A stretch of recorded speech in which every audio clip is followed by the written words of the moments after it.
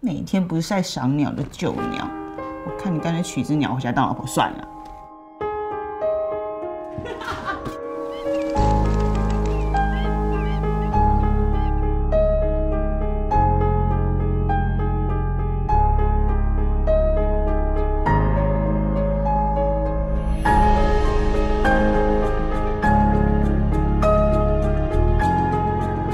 弟多久没跟你讲话？你根本连云林老家都不想回去了，只会拿钱敷衍你妈，这叫感情好？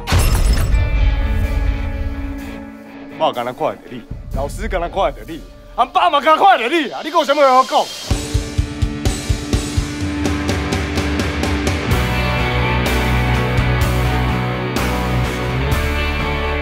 看中医我一个人去，看西医也我一个人去。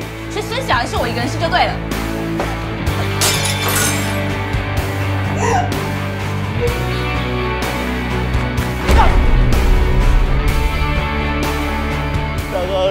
咱是讲招讲什么招啊？你说你话你去台北，你知影马考偌忝无？下一次我一定。我说了，我不要停，我不要停。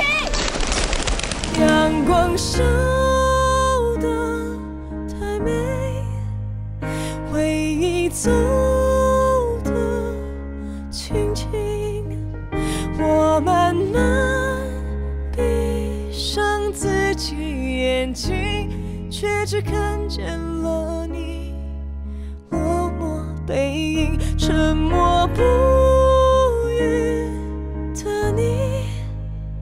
把秘密藏心底，总是装作若无其事的淡淡掩饰了你心痛痕迹。